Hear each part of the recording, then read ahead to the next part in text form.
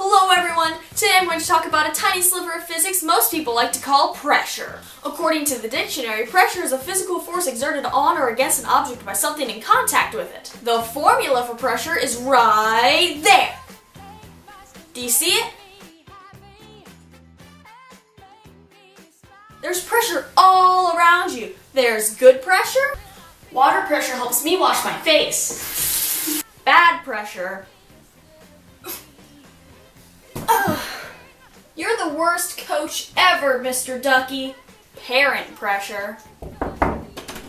Hey, how's the video coming? Fine, Mom. Anyway. Hey, how's the video coming? Fine, Mom. Anyway. Hey, how's the video coming? I'm trying to work on it. And finally, best of all, the kind of pressure that can be used to make things go boom. As you can see here, I have what seems to be an ordinary soda can. Or is it? What's special about this can is that it's highly pressurized from being left in the freezer for too long. Now, when you put a bottle of water in the freezer, it explodes because water is less dense as a solid than it is as a liquid, so it expands when it freezes. However, when you put a can of soda in the freezer, all of the tiny bubbles inside, aka the carbon dioxide, rises to the top. In this way, it's under much more pressure than it was when the carbon dioxide was dispersed throughout the can.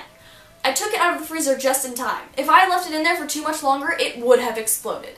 Now, speaking of things exploding, if I were to poke a hole in this can, all the soda and carbon dioxide would come out pretty much like this. This is because the area inside this can is has very high pressure, while the air outside is very low pressure. Now, to demonstrate this, I'm going to go outside because I don't need soda everywhere. Let's go! Now, before I throw the soda, it's obvious that I'm not ready for an experiment.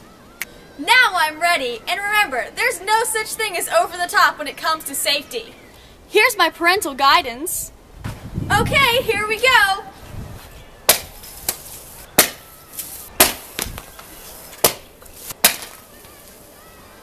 Well, that was fun. I hope you enjoyed watching this video half as much as I enjoyed throwing pressurized soda cans on the ground. Sharing is caring, so share this video with someone, like a mom or a dad or a teacher or a friend or a dog. And remember, physics is awesome.